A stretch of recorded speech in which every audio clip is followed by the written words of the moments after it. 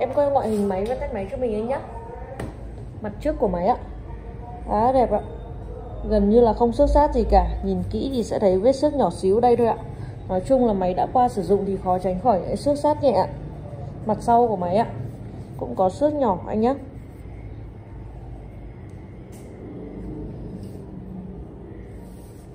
Các cạnh của máy thì rất là đẹp ạ. Không bị cần móp hay va đập gì cả.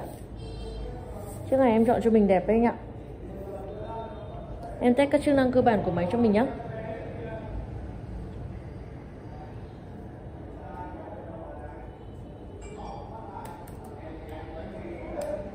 Em test camera của máy ạ.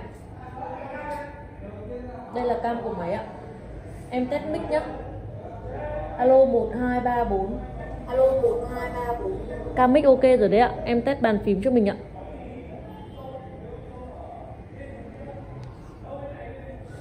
Hàng trên cùng của máy sẽ là từ F1 đến F10 ạ. Còn các phím chức năng thì mình sẽ giữ đồng thời cùng control để sử dụng là được ạ. Chuột trái, chuột phải, bàn phím ok rồi đấy ạ.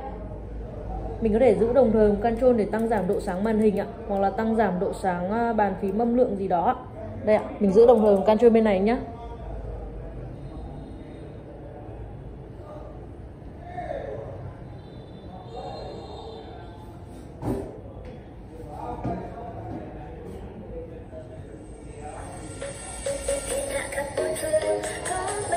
Loa của máy thì khá to vào trong đấy ạ.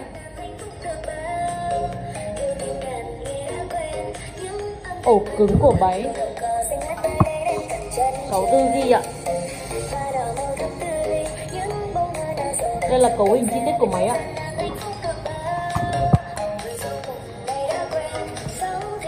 I5 thế hệ 10 RAM 8GB nhé